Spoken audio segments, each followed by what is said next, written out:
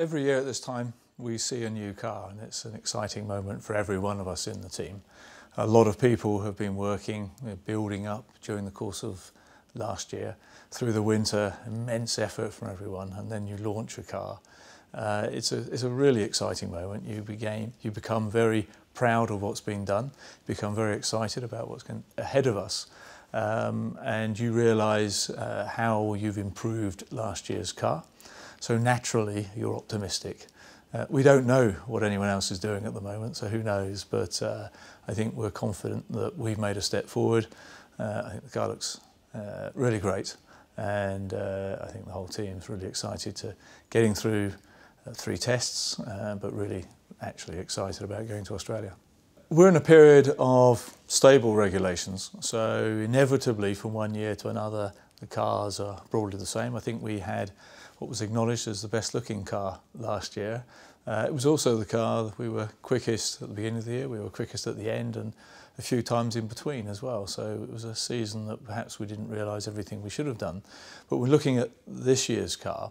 It's very tempting given that you finish a season with the quickest car to not change anything. It's very tempting to then just develop that. Uh, I think we've taken the right balance of trying to keep some of the good features, but actually make quite a lot of changes. So both the front and rear suspension systems are, are very different, the nose height's very different, the side pod treatment's quite different. So to, to us uh, and the engineers, it looks like a very different car. Uh, we're very fortunate to have a carryover of substantially all the same partners at Vodafone, McLaren, Mercedes. So, you know, superficially and, from a coloration point of view, the car looks the same, but it's, it is quite a lot different. It's been quite an interesting challenge to make sure that you change the car that much uh, and, and then make progress to ensure that the car is actually quicker than the one you're replacing. McLaren goes into every year, we're looking to win races and to win championships and uh, we've won more Grand Prix than any other team. Uh, we've won you know, more than 25% of every Grand Prix. So the standard is high, the expectation is phenomenal and we expect to win. Uh, to come out of last year uh, having fallen away, having, having had a car that was quickest on many occasions, but not really to have maximised the points, not to have achieved what we should have done, was quite frustrating for us. That increases our motivation. Uh, we go into this year, we know nowadays it's going to be very close, it's very tight, there's some good, well-funded teams there. The regulations are relatively stable.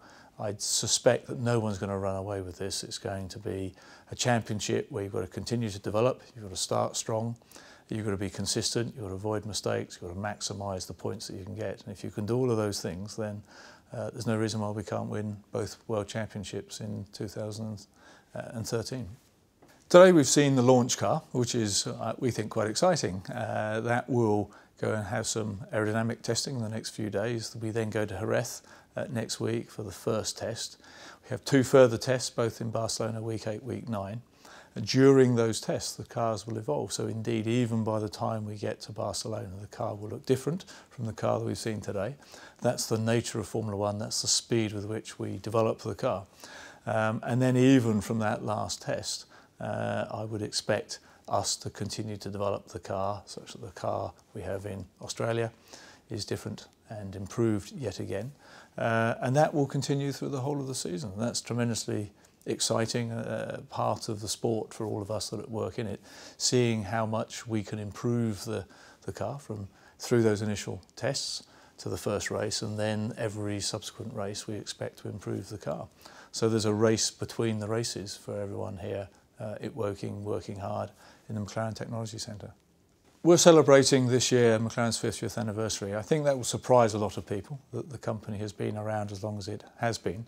And the parade of cars that we saw at the beginning of today's launch was uh, really some absolutely stunning cars from the Can-Am car that led its way through uh, to Emerson Fittipaldi's Formula One car, uh, and then through to cars driven by Lewis Hamilton and Mika Hakkinen to win world championships, a Le Mans winning car in the middle of that as well. So the variety uh, of this team, the depth, uh, will surprise, I think, a lot of people. Um, but uh, as I think I said earlier, we have, since we went into Formula One racing, we've won more races, more than any other team.